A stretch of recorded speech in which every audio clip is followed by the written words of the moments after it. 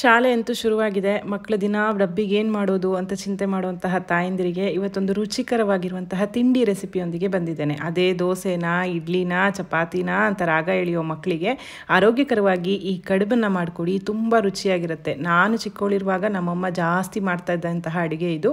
ನನಗೆ ಸಹ ಇದು ಮರ್ತೋಗಿತ್ತು. ನೆನಪು ಮಾಡಿಕೊಂಡು ಇವತ್ತು ಈ ರೆಸಿಪಿಯನ್ನು ನಿಮ್ಮ ಜೊತೆ ಶೇರ್ ಮಾಡ್ತಾ ಇದ್ದೀನಿ.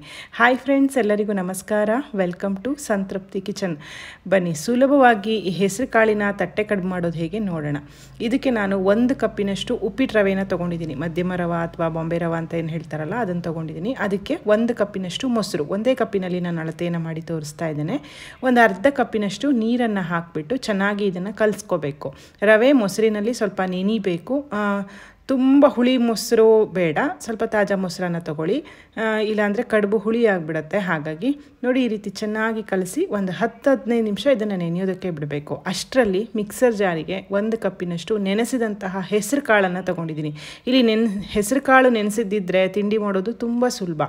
ಒಂದು ಕಪ್ಪಿನಷ್ಟು ಹೆಸರು ಕಾಳನ್ನು ಮಿಕ್ಸರ್ ಜಾರಿಗೆ ಹಾಕಿ ಖಾರಕ್ಕೆ ಒಂದು ನಾಲ್ಕು ಹಸಿ ಮೆಣಸನ್ನು ನಾನು ಇಲ್ಲಿ ಸೇರಿಸ್ತಾ ಇದ್ದೀನಿ. ನೀವಿಲ್ಲಿ ನಿಮ್ಮ ರುಚಿಗೆ ಇಷ್ಟ ಆಗೋ ಥರ ಖಾರವನ್ನು ಹೆಚ್ಚು ಕಡಿಮೆ ಮಾಡ್ಕೊಳ್ಬೋದು. ಇಲ್ಲಿ ಸಿಪ್ಪೆ ತೆಗೆದು ಹೆಚ್ಚಿದಂತಹ ಶುಂಠಿಯನ್ನು ಸೇರಿಸ್ಬಿಟ್ಟು ನೀರನ್ನು ಹಾಕದೆ ಪಲ್ಸ್ ಮೂಡ್ನಲ್ಲಿ ಇದನ್ನು ಈ ರೀತಿ ತರಿತರಿಯಾಗಿ ಪುಡಿ ಮಾಡಿಕೊಂಡು ಬರ್ತೀನಿ. ಇಲ್ಲಿ ನೀವು ನೀರನ್ನು ಹಾಕಿ ತೆಳುವಾಗಿ ರುಬ್ಕೋಬೇಡಿ. ಸ್ವಲ್ಪ ಗಟ್ಟಿಯಾಗಿ ಹೆಸರುಕಾಳು ನೆನೆಸಿರೋದ್ರಿಂದ ರುಬ್ಬೋಕ್ಕೇನು ಕಷ್ಟ ಆಗಲ್ಲ. ತರಿ ತರಿಯಾಗಿ ಪುಡಿ ಮಾಡಿಕೊಂಡು ನೆನೆಸಿದಂಥ ರವೆ ಏನಿದೆ, ಅದಕ್ಕೆ ನಾನು ರುಬ್ಬಿದಂತಹ ಹೆಸರುಕಾಳಿನ ಮಿಶ್ರಣವನ್ನು ಸೇರಿಸ್ತಾ ಇದ್ದೀನಿ. ರವೆ ಮೊಸರನ್ನೆಲ್ಲ ಹೀರ್ಕೊಂಡು ಚೆನ್ನಾಗಿ ನೆಂದಿದೆ. ಈಗ ಸಣ್ಣದಾಗಿ ಹೆಚ್ಚಿರುವಂತಹ ಕೊತ್ತಂಬರಿ ಸೊಪ್ಪನ್ನು ಹಾಕ್ತಾ ಇದ್ದೇನೆ. ರುಚಿಗೆ ತಕ್ಕಷ್ಟು ಉಪ್ಪನ್ನು ಹಾಕಿಬಿಟ್ಟು ಚೆನ್ನಾಗಿ ಇದನ್ನು ಕಲಿಸ್ಬೇಕು. ನೋಡಿ, ಇದು ನೆಂದಿರೋದ್ರಿಂದ ಗಟ್ಟಿಯಾಗಿದೆ. ಈ ಹದದಲ್ಲಿ ಇರಬಾರ್ದು ಇದು. ಇದು ನಾರ್ಮಲ್ ಇಡ್ಲಿ ಹಿಟ್ಟಿಗಿಂತ ಸ್ವಲ್ಪ ತೆಳುವಾಗಿ ಇರಬೇಕು. ನಾವು ಇದನ್ನು ಇಡ್ಲಿ ತಟ್ಟೆಯಲ್ಲಿ ಮಾಡ್ತಾ ಇಲ್ಲ. ಅಂದರೆ ಊಟ ಮಾಡ್ತೀವಲ್ಲ, ಆ ರೀ, ಆ ಪ್ಲೇಟಲ್ಲಿ ಮಾಡೋದ್ರಿಂದ ಇದನ್ನು ಹೆಸರು ಕಾಳಿನ ತಟ್ಟೆ ಕಡುಬು ಅಂತ ಹೇಳಿ ಕರೆಯೋದು. ಇದಕ್ಕೆ ಸ್ವಲ್ಪ ನಾನು ನೀರನ್ನು ಸೇರಿಸ್ಕೊಂಡು ನೋಡಿ ಹೀಗೆ ಈ ಹದದಲ್ಲಿ ಇದನ್ನು ಕಲಸಿಟ್ಕೊಳ್ತಾ ಇದ್ದೀನಿ ಇಲ್ಲಿ ನಾನು ಇನ್ಸ್ಟೆಂಟಾಗಿ ಮಾಡ್ತಾ ಇರೋದ್ರಿಂದ ಸ್ವಲ್ಪ ಸ್ವಲ್ಪ ಪ್ಲಫಿಯಾಗಿ ಬರಬೇಕು ಕಡುಬು ಅಂತ ಹೇಳಿ ಈನೋವನ್ನು ಸೇರಿಸ್ತಾ ಇದ್ದೀನಿ ಈನೋ ಇಲ್ಲದೆ ಹೋದರೆ ಅಡುಗೆ ಸೋಡಾ ಹಾಕ್ಕೋಬೋದು. ಅಡುಗೆ ಸೋಡಾ, ಈನೋ ಯಾವುದು ಸೇರ್ಸೋಕ್ಕೆ ಇಷ್ಟ ಇಲ್ಲ ಅಂತಂದರೆ ಇದೇ ಹಿಟ್ಟನ್ನು ನೀವು ಒಂದು ಮೂರ್ನಾಲ್ಕು ಗಂಟೆಗಳ ಕಾಲ ಹುದುಗ್ ಬರೋದಕ್ಕೆ ಬಿಡಬೇಕಾಗತ್ತೆ. ಹುದುಗ್ ಬಂದರೆ ಇಡ್ಲಿ ಅಥವಾ ಕಡುಬು ತುಂಬ ಸಾಫ್ಟಾಗಿ ಚೆನ್ನಾಗಿ ಬರುತ್ತೆ. ಇಲ್ಲ ಅಂದರೆ ಈ ರೀತಿ ಇನ್ಸ್ಟೆಂಟಾಗಿ ನೀವು ಈನೋ ಪೌಡರ್ ಅಥವಾ ಅಡುಗೆ ಸೋಡಾನ ಸೇರಿಸ್ಕೋಬೇಕು. ಇಲ್ಲೊಂದು ಸ್ಟೀಲ್ ತಟ್ಟೆಯನ್ನು ತೊಗೊಂಡು ಅದಕ್ಕೆ ಎಣ್ಣೆಯನ್ನು ಸೌರ್, ಸೌರಿ ಇಟ್ಕೊಳ್ತಾ ಇದ್ದೀನಿ. ಮಾಡಿದಂತಹ ಹಿಟ್ಟನ್ನು ಇದಕ್ಕೆ ಮುಕ್ಕಾಲು ಭಾಗದಷ್ಟು ಹಾಕ್ಕೋಬೇಕು. ತುಂಬ ತುಂಬೋದು ಬೇಡ.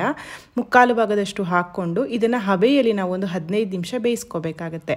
ಮೇಲ್ಗಡೆ ನಾನು ಈ ರೀತಿ ಹಸಿ ತೆಂಗಿನಕಾಯಿ ತುರಿಯನ್ನು ಮೇಲ್ಗಡೆಯಿಂದ ಈ ರೀತಿ ಉದುರಿಸ್ತಾ ಇದ್ದೀನಿ. ಹೀಗೆ ಮಾಡೋದ್ರಿಂದ ರುಚಿ ಚೆನ್ನಾಗಿರುತ್ತೆ. ಇದು ಆಪ್ಷನಲ್ ತೆಂಗಿನಕಾಯಿ ತುರಿ ಬೇಡ ಅಂದರೆ ನೀವು ಸ್ಕಿಪ್ ಮಾಡ್ಬೋದು.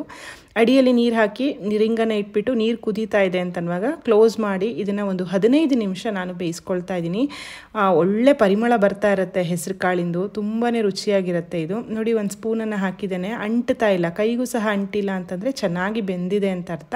ಸ್ವಲ್ಪ ತಣ್ಣಗಾದಮೇಲೆ ಚಾಕುನಿಂದ ಈ ರೀತಿ ನಿಮಗೆ ಯಾವ ಶೇಪ್ನಲ್ಲಿ ಬೇಕೋ ಆ ಶೇಪ್ನಲ್ಲಿ ಕಟ್ ಮಾಡ್ಕೊಳ್ಳಿ. ಹೀಗೆ ಮಾಡೋದ್ರಿಂದ ಪಾತ್ರೆ ತೊಳೆಯುವಂತಹ ಕೆಲಸವು ನಮಗೆ ಕಡಿಮೆ ಆಗುತ್ತೆ. ನೋಡೋದಕ್ಕೂ ಒಳ್ಳೆ ಶೇಪ್ನಲ್ಲಿರುತ್ತೆ ನಾರ್ಮಲ್ ಇಡ್ಲಿ ಥರ ಇರೋದಿಲ್ಲ. ಮಕ್ಕಳಿಗೂ ಸ್ವಲ್ಪ ಖುಷಿ ಆಗುತ್ತೆ.